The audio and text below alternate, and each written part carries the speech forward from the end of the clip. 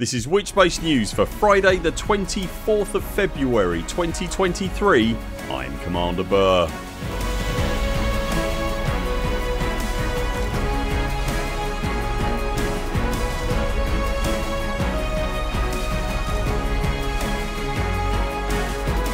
In Elite Dangerous news this week Community Manager Arthur states we are missing a story element right in front of our faces.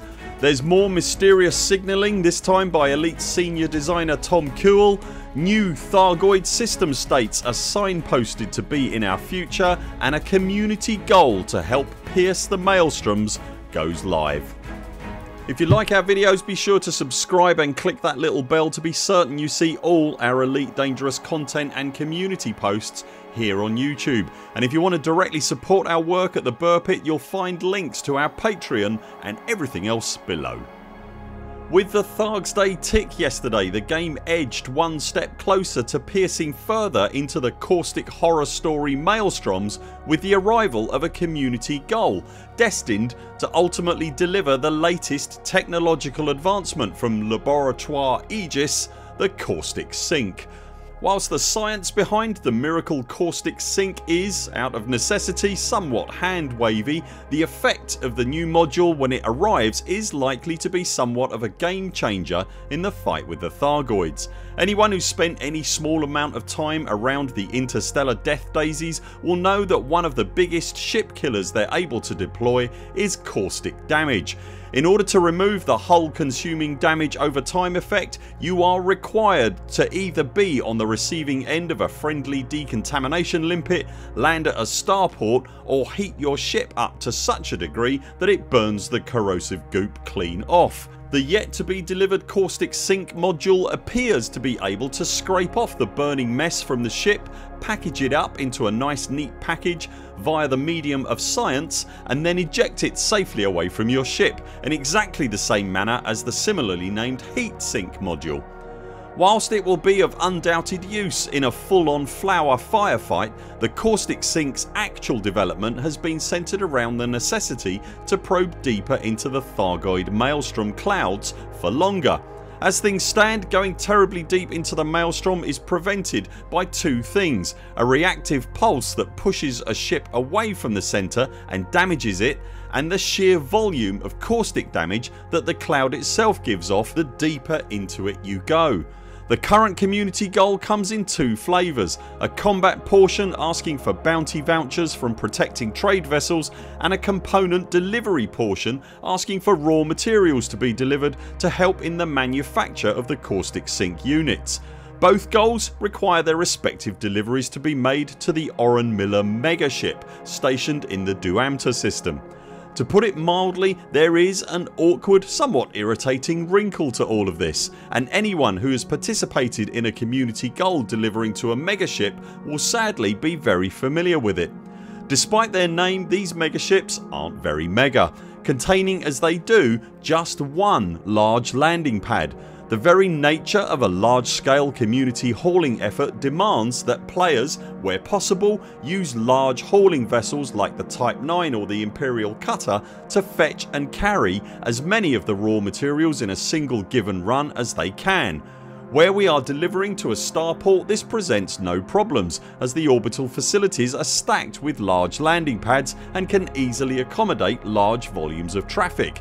The megaships on the other hand have just one large pad meaning that upon arrival at the ship to unload at the very least you are invariably left waiting for an NPC ship to clear the pad before you can manoeuvre your island sized haulage specialist into place. This situation becomes commensurably worse in open play or in a large private group or just in a team where queues of the large vessels instanced with each other quickly form. Assuming it stays orderly and a squabble for available space doesn't occur you can be politely waiting for 3 or more ships to depart before your time to dock arrives. Player owned fleet carriers, a way more mega of a ship than an NPC megaship have no less than 8 large landing pads hilariously dwarfing the megaship vessels owned and run by mega corporations and in some cases superpowers. The megaships look great and serve a very tidy narrative function in these scenarios but I would argue they aren't really fit for purpose when it comes to a community goal especially when there is a perfectly serviceable orbital starport in the system that would serve as a much more sensible option. If you are having trouble docking for a community goal in one of Elite's multiplayer modes then your only less than ideal option is to drop to solo play where there is less competition for the lonely large landing pad. The CGs run until next Thursday unless they're completed quicker and there are free Caustic Sink modules up for grabs for the top tiers of contributors upon its completion. Last night saw the latest of FDev's fortnightly Frameshift live stream return to Twitch and YouTube this time hosted by community managers Sally Morgan Moore and Arthur Tolmie and featuring a visit from senior game designer on Elite Dangerous Tom Kewell. Tom was previously probably best known in the community for his work on the now familiar Scorpion SRV but this week Tom's appearance was specifically featuring his work on the instanced scenarios that are found within unknown signal sources. The ubiquitous unknown signal source itself is obviously not new to Elite Dangerous and is a regular feature of just about every commander's trip into Supercruise the scenarios found within those USS's when they are accessed however have been tinkered with by Tom and the team for the current still evolving Thargoid war and it's that tailoring to the war and how they in turn deliver flavour, texture and story to the conflict that the stream was predominantly highlighting. It's always interesting to hear from the devs about the design decisions in the game and get more insight into features that are both familiar and foreign and it's worth listening to what Tom has to say for that alone. But as you perhaps expect by now there were some other hints and nuggets of information that we picked up on during the discussion. During the chat with Sally and Arthur Tom was discussing the different types of scenarios that are found within systems affected by the different states the war inflicts. Sally, Arthur and Tom can all be seen and heard joking about being extremely careful about which states they mention and what name they use for the system states they talk about.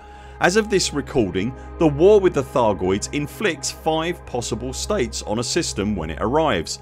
Those states progress as the Thargoids attempt to take over a given system and are as follows Thargoid Alert where the Thargoids are probing a system for a possible future incursion, Thargoid Invasion where the Thargoids are actively invading a system and attempting to take it over, Thargoid Controlled where the invasion state has been successful and humanity has been completely driven out post Thargoid recovery where the Thargoids have been removed from what was a previously Thargoid controlled state and finally Thargoid Maelstrom. There are 8 of these such systems and unsurprisingly this is where you'll find one of the 8 Thargoid Maelstroms.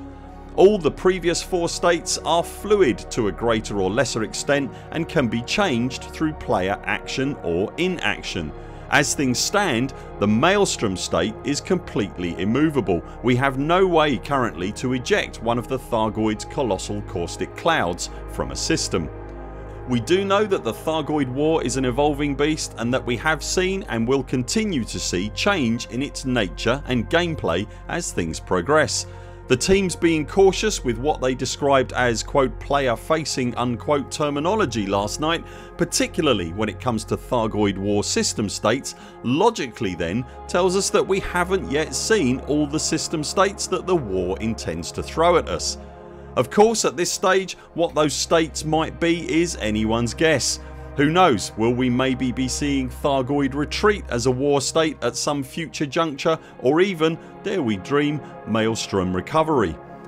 I mentioned story earlier and the unknown signal source's potential to deliver one of the versions of story more peculiar to Elite Dangerous that being the more general texture and colour delivering story elements. Away from the larger sweeping narrative story elements that Elite Dangerous now very much has as one of its cornerstone features USS scenarios are able to deliver a more background action style of storytelling experience to the player. The specific examples that Tom used centred around situations such as visits to signal sources from rescue vessels that might be part of a random chance to a scenario script.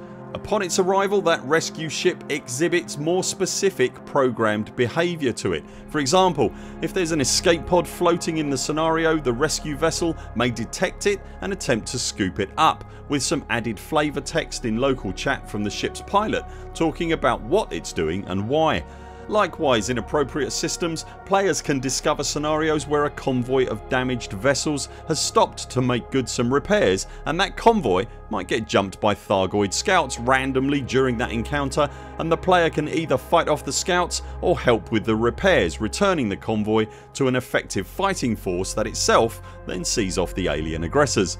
Elite Dangerous as a whole and the Thargoid War as part of that whole both feature a myriad of these smaller isolated narrative slices that add to the greater narrative in this case the Thargoid conflict but don't necessarily drive that larger narrative forward themselves.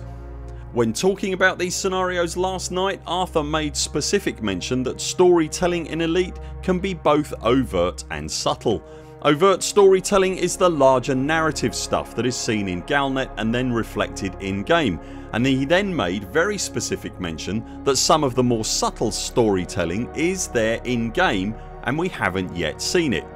Here's the specific clip, have a listen and see what you think. We had this conversation before you, uh, sort of earlier on today when we were discussing this and I'm not going to go into what specifically it is but the great thing about these things that you add to the game is that there's a lot of storytelling going on in Elite Dangerous. Some of it is very is very sort of is, is unsubtle. So there's the war and obviously there's Galnet and stuff like that. Mm-hmm. And there's other parts that are very very subtle that you will have to look for and see. But it is there, and some of it you haven't seen, and it's there. It's right in your face, but you just haven't seen it. Um, and that's all I'm going to say about it.